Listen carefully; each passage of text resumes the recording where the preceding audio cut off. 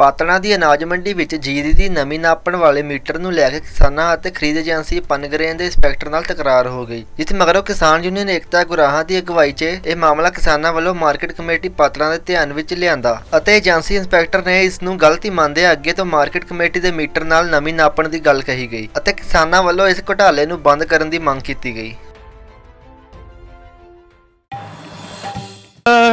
Checking ਦਾ ਮਸਲਾ ਸੀਗਾ, ਕੀ ਮਸਲਾ ਸੀਗਾ, ਕਿ ਕਿਹੜੇ ਕਿਸਾਨ ਦੀ ਜਿਹੜੀ ਫਸਲ ਤੋਲੀ ਜਾ ਰਹੀ ਸੀਗੀ ਤੇ ਕਿਵੇਂ ਤੁਹਾਨੂੰ ਇਹਦਾ ਪਤਾ ਲੱਗਿਆ?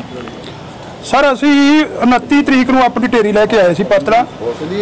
ਤੇ 29 ਤਰੀਕ ਤੋਂ ਇਹਨਾਂ ਦਾ ਜਿਹੜਾ ਰੱਖਿਆ ਬੰਦਾ ਸੀ, ਉਹ ਮਾਸਟਰ ਮੀਟਰ ਲਾ ਰਿਹਾ ਸੀ, ਜਿਹੜਾ ਕਿ ਬਹੁਤ ਵੱਧ ਮਾਸਟਰ ਦੱਸ ਰਿਹਾ ਸੀ।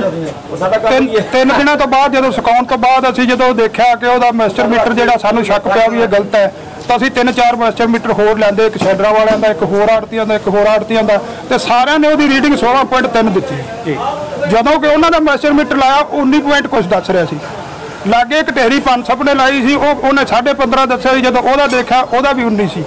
ਤਾਂ ਉਹਨੂੰ ਅਸੀਂ ਜਦੋਂ ਕਿਹਾ ਸਾਰੇ ਕਿਸਾਨਾਂ ਨੇ ਘੇਰਿਆ ਉਹਨੂੰ ਕਿ ਇਹ ਤੇਰਾ ਮਾਸਟਰ ਮੀਟਰ ਗਲਤ ਹੈ, ਤਾਂ ਉਹ ਮੰਨ ਗਿਆ ਕਿ ਮੇਰਾ ਮਾਸਟਰ ਮੀਟਰ ਗਲਤ ਹੈ, ਮੈਨੂੰ ਇਹ ਛੈਲਰਾ ਵਾਲਿਆਂ ਨੇ ਦਿੱਤਾ ਮੇਰਾ ਕੋਈ ਪਾਸ ਮਾਸਟਰ ਮੀਟਰ ਨਹੀਂ ਹੈ। ਤਾਂ ਉਸ ਤੋਂ ਬਾਅਦ ਉਹਨੇ ਸਾਰੀਆਂ ਢੇਰੀਆਂ ਜਿੰਨੀਆਂ ਸੀ ਉੱਥੇ ਲਾਤੀਆਂ, ਉਹਨੇ ਬਾਈ ਬਾਈ ਮਾਸਟਰ ਦੀਆਂ ਢੇਰੀਆਂ ਵੀ ਸਾਡੇ ਲਾਤੀਆਂ। ਬੋਲੀ ਲਗਾ ਰਹੀ ਸੀ ਨਾਰਮਲ ਜਿਹੜੀ ਆਪਣੀ ਮੋਸਟਲੀ ਜਿਹੜੀ ਬੋਲੀ ਹੁੰਦੀ ਆ, ਉਹ ਆਪਣੀ ਮਾਰਕੀਟ ਕਮੇਟੀ ਵੱਲੋਂ ਜੋ ਮੀਟਰ ਦਿੱਤੇ ਜਾਂਦੇ ਆ ਮਾਰਕੀਟ ਕਮੇਟੀ ਵੱਲੋਂ ਦਿੱਤੇ ਹੋਏ ਮੀਟਰਾਂ ਤੋਂ ਹੀ ਲਗਾਈ ਜਾਂਦੀ ਆ। ਮੌਕੇ ਤੇ ਮਾਰਕੀਟ ਕਮੇਟੀ ਦਾ ਜਿਹੜਾ ਮੀਟਰ ਸੀ ਲੜਕੇ ਕੋਲ, ਉੱਥੇ ਉਸ ਵਿੱਚ ਕੁਝ ਟੈਕਨੀਕਲ ਖਰਾਬੀ ਹੋਣ ਕਰਕੇ ਉਹ ਮੀਟਰ ਦੀ ਜਿਹੜੀ ਰੇਂਜ ਆ, ਸਹੀ ਨਹੀਂ ਆ ਰਹੀ ਸੀ। ਜਿਸ ਕਾਰਨ ਜਿਹੜਾ ਸਾਡੇ ਕੋਲ ਦਫ਼ਤਰ ਦੇ ਵਿੱਚ ਜੋ ਮੀਟਰ ਪਿਆ ਸੀ, ਅਸੀਂ ਮੋਸਟੀ ਤੋਂ ਜਿਹੜੀਆਂ ਮਾਨਤਾ ਪ੍ਰਾਪਤ ਜਿਹੜੇ ਮੀਟਰ ਹੁੰਦੇ ਆ ਸੀ ਉਹ ਹੋਰ ਚੇਂਜ ਕਰਵਾਉਣ ਵਾਸਤੇ ਇਨਫੋਰਮ ਆਲਰੇਡੀ ਕਰ ਦਿੱਤਾ ਗਿਆ ਸੀ ਇਸ ਜਿਹੜੇ ਖਰਾਬ ਮੀਟਰ ਨਾਲ ਕਿੰਨੀਆਂ ਘਟੇਰੀਆਂ ਜਿਹੜੀਆਂ ਤੁਸੀਂ ਚੈੱਕ ਕਰਕੇ ਤੁਲਵਾਈਆਂ ਨੇ ਜਾਂ ਜਾਂ